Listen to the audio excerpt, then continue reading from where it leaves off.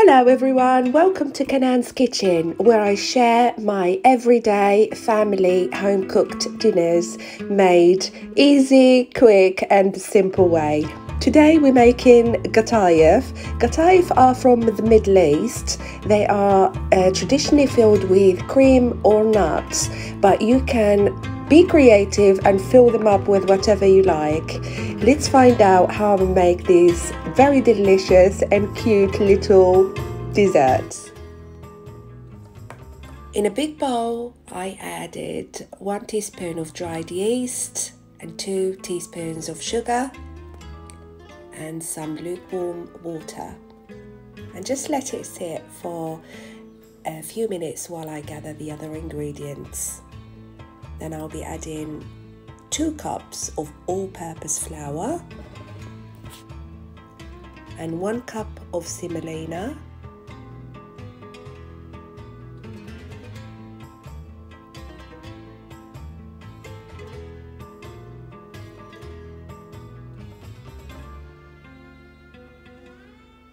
and a pinch of salt to taste.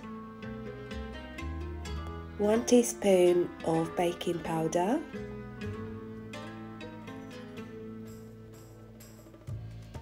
and some rose water. I used 2 teaspoons in this recipe, just gives it that authentic taste. But you can totally skip this and use your own flavorings uh, like vanilla. And then you would need a blender to um, mix all the ingredients.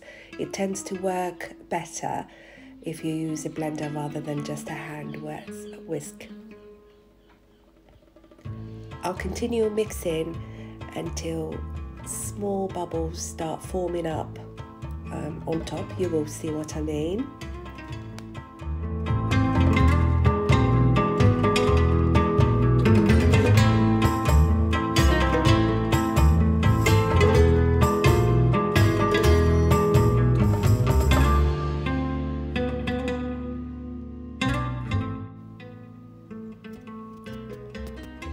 Now I'm happy with the consistency that um, I'm looking for. It should be liquidy just like this. Not too thick, not too thin, somewhere in between. Once I'm happy with this, I covered and let it sit for 20 minutes. And this is after 20 minutes. This is what it looks like. It does get very slightly thicker because of the semolina. It soaks up the liquid. And now I start cooking our cute gatayef or pancakes. I'm using a big pan so I can fit three at once. And I'm using another pan on the side, by the way. I want to finish up quickly. Who wants to stand in the kitchen unnecessarily? Not me.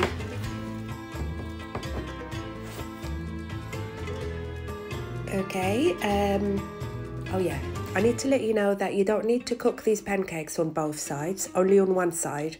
And you make sure it's nicely browned at the bottom before you take them out the pan. Uh, the reason for this, we don't cook them on both sides, is because when we put the filling, we need them to stick. You will know what I mean when um, I start filling them and you will see the reason why they're not cooked on both sides. But don't worry, they will dry up completely and they are actually cooked. It's just they're not browned on both sides.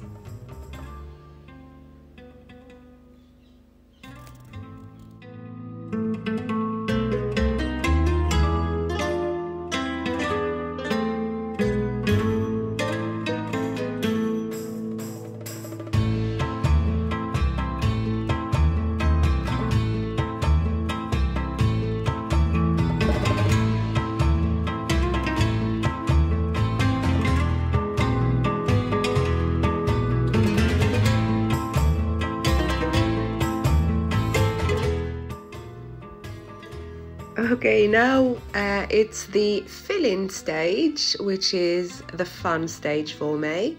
I like doing this part. Uh, the filling uh, for today is mascarpone cheese mixed with two teaspoons of honey.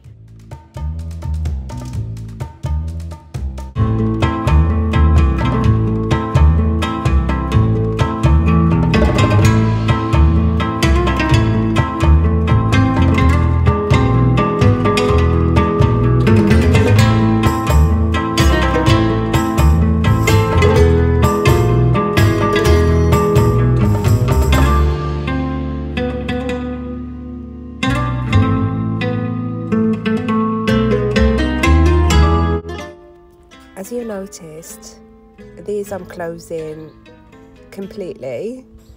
I close them up into a shape of um, like Cornish pasties only these ones are mini.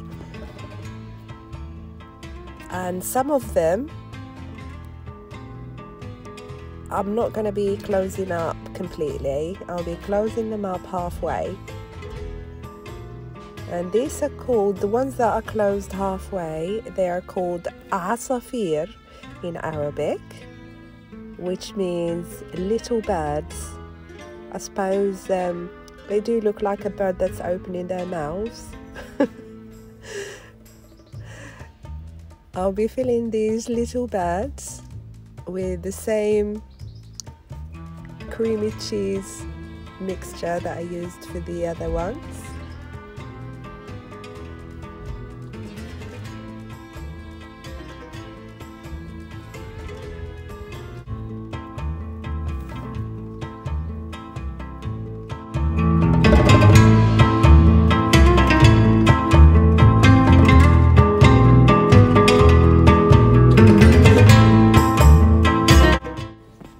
Next I'll be air frying my gatayef. The closed up ones, they traditionally are deep fried, but I'm not going to do that because that's not very healthy, is it? So I air fried them and they came out so crispy.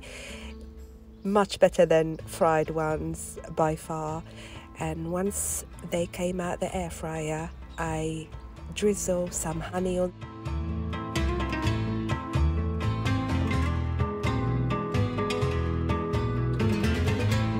there you have it. This is uh. The closed up ones are enjoyed warm, and the opened ones, obviously, we haven't cooked them, so they enjoyed as they are.